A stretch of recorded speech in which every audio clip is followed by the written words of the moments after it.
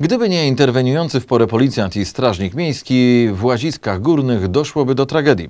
Uratowali oni starającego się popełnić samobójstwo mężczyznę. Jak się okazało, desperata do odebrania sobie życia namówiła jego własna żona. To właśnie ta kobieta namówiła swojego męża do odebrania sobie życia. Wszystko to miało miejsce w jednym z bloków w Łaziskach Górnych. Policjanci po przybyciu na miejsce, e, wchodząc do klatki schodowej tego budynku, zauważyli, że mężczyzna wisi e, e, na pasku przyczepiony do balustrady klatki schodowej. Niezwłocznie podjęli, od- odczepili go od tej balustrady. W tym czasie mężczyzna już nie oddychał, nie był przytomny.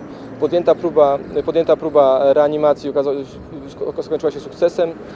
Ten mężczyzna zaczął oddychać i przywrócono mu akcję serca. Wezwaliśmy niezwłocznie karetkę pogotowia ratunkowego, która e, zabrała go do szpitala. Jak się okazało, próba samobójcza była wynikiem awantury pomiędzy małżonkami. Oboje w jej trakcie byli pod wpływem alkoholu. Zatrzymaliśmy w związku z tym zdarzeniem e, kobietę, e, która, co do której mamy podejrzenia, że namawiała tego mężczyznę do popełnienia tej, tej, samobójstwa. Prokurator rejonowy w Mikołowie na nasz wniosek zastosował wobec tej osoby dozór policyjny. W chwili obecnej trwa śledztwo, które ma ustalić dokładne przyczyny i przebieg zdarzenia. Kobiecie grozi do pięciu lat pozbawienia wolności.